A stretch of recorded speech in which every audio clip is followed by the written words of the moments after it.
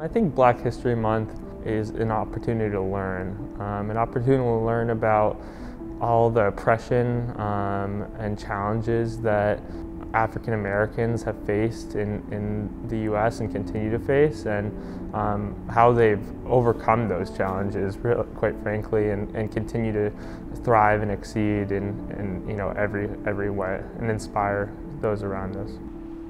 It shouldn't take on a different meaning because it, it should be this important. Every year it, it should be this important, but this year it takes on a different meaning because maybe the events of, of the summer with all the protests and everything have died down a bit and it really helps people to really revert back to it and continue in the ways that we started and just to continue the progress that, that we need to continue in order to get where we want to be. I think to me it's just a recognition of all the great things that um, black people have done in this country and in the world, just celebrating black excellence and uh, you know, just kind of highlighting the importance that they and the, um, the kind of impact that they've had on our country and the world. One thing about Black History Month, um, especially over the past couple of months, um, I feel like regardless uh, of skin color, it's, it's very hard to find your place in this world. And as a black person and as a young black man, I feel like that is made a little bit harder simply because of the lack of resources and um, sort of the lack of support not necessarily being there until that you can show that you um, are making something of yourself.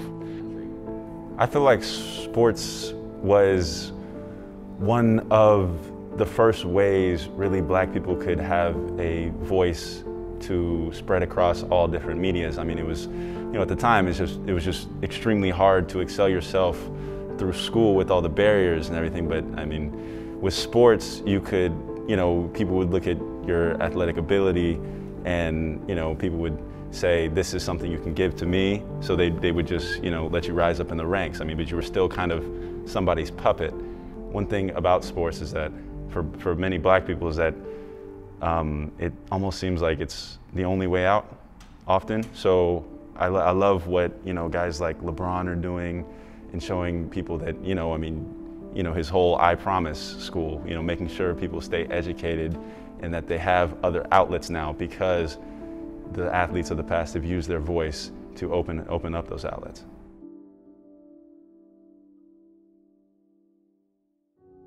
Up until this past year, I've kind of just, uh, you know, not really talked about all the, you know, difficult things that have been happening. And I think one of the big takeaways is just, you know, having uh, empathy, you know, coach talks about it all the time, having empathy for others and just kind of understanding what people are going through and not trying to impose your feelings on them as much, but, you know, just kind of letting them have their own feelings and understanding uh, where they're coming from and listening and, you know, seeing what you can do from, from there. There's more than one way of being right. Everybody wants to be right in this world, and that's where the divide comes from. Everybody thinks whatever they think is right, whatever they, whatever their thought derived from is what has to be true, and that can be true. People should accept that. That's why there's so many different religions, so many different beliefs, so many different versions of schools, and there's so many different ways to learn. It's just not a set in stone. Like our brain is so complex, and as people we are so complex. So that doesn't mean the answer is going to be simple. After last summer, I sat down at the dinner table with my family and I said, I don't want to stop, you know, just even when the momentum slows down, I don't want to stop learning and educating myself on, on, you know, black oppression and um, the challenges they constantly face. I honestly haven't lived up to that entire that challenge. Like I haven't stayed stayed engaged, you know, every single week or that sort of thing. And so this Black History Month and having this conversation is a reminder that you know no matter how busy life gets or how many other things go on, I need to stay committed to that and, and continue to learn and grow and and and honor honor the amazing Black people in our country. We look for ways to unify so much when we don't even really need to. Like we're all here, we're all on earth, we're all alive, we all bleed the same, we all breathe the same. So like, what else more do we need to realize to understand is my question. Like, I don't, I don't really know. I don't, I don't really have all the answers. I don't have any answers at all, other than the fact that I know that I'm going to continue to do my part.